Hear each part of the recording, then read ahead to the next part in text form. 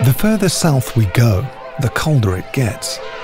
The penguin's remarkable physical adaptations to the cold are certainly coming in handy. Even though it's midsummer here in South Georgia, it's absolutely freezing.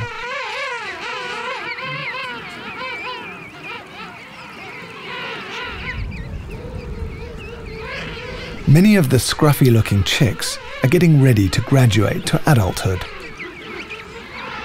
By shedding their brown furry coats, which are warm but not waterproof, they begin to reveal their adult plumage.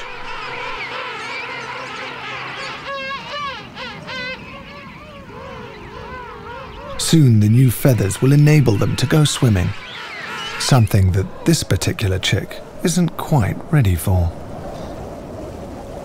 Like the advert for a bad day, this young king penguin came running past us, soaked to the skin. Whether it was pushed or fell in water, we'll never know, but it does not look very happy. At this age, its feathers are there for warmth and are not waterproof at all. And this poor chick is going to have a most uncomfortable night.